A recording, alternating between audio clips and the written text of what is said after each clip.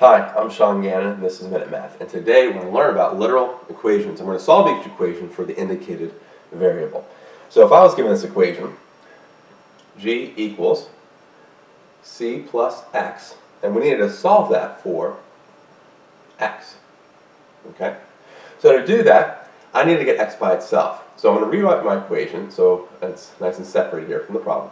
Now I have a positive c there. I need to bring that over to the left. And to, to do that, I'm going to subtract a c to both sides.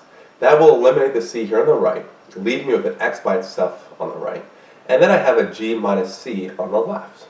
Okay? x is isolated, fantastic, looking pretty good. And so now I just need to put x by itself. Or sorry, no, it is by itself. I'm going to write it coming first, right? Because that looks nicer. So we have x coming first, I have the g minus c here on the left, and that's it. A very simple problem right here. So let's recap. We had g equals c plus x, and we need to solve that for x. I rewrote my equation, then I subtracted a c to both sides. That left me with a g minus c on the left by itself, and that is equal to x on the right. From there, I, I basically had x isolated, so I was kind of uh, done, right? But I'm going to rewrite this to look nice and neat, and so I have x coming first, so I have x equals a g minus c, and that is my final answer.